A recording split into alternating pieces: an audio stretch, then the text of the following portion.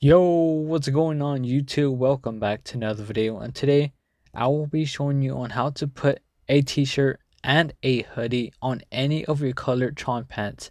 And this is solo and this does work on all platforms as well. But if you're new here hit that subscribe button turn on the bell notification as well.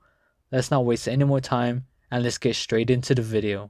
You would need to make your way over to the nearest clothing store. It doesn't matter which one you go to it will still work now once you're there go over to the front counter.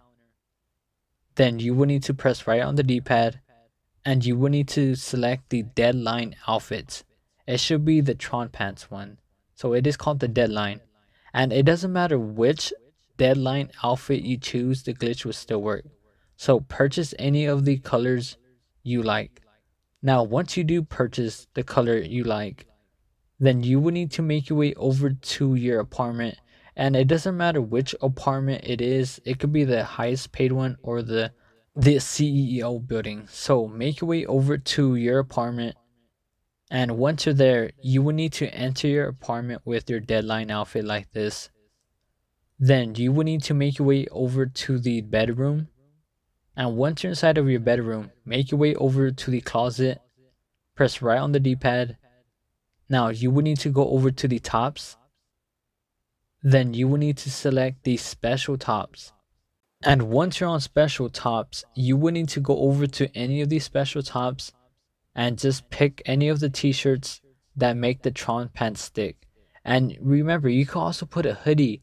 So basically, once you're on special tops, all you want to do is find the hoodie.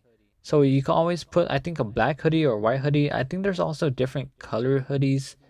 Like I said, this does stick. And the cool thing about this is you can also put like a duffel bag or an FIB badge or a cop belt. Anything you want on this outfit, it will stick. But yeah, guys, if y'all need any help, just comment below in the comment section below. I'll try to help you guys. And if you haven't followed me on Twitter or Instagram, and if you haven't joined my Discord, all links down below in the video description. But yeah, guys, hopefully y'all did enjoy this video. If y'all have any type of videos y'all guys want, just comment below. Like I said in the beginning of the video, you could put this on any of the colored Tron pants. So if you do not like the pink one or the red one, you can also put on the blue one, the white one.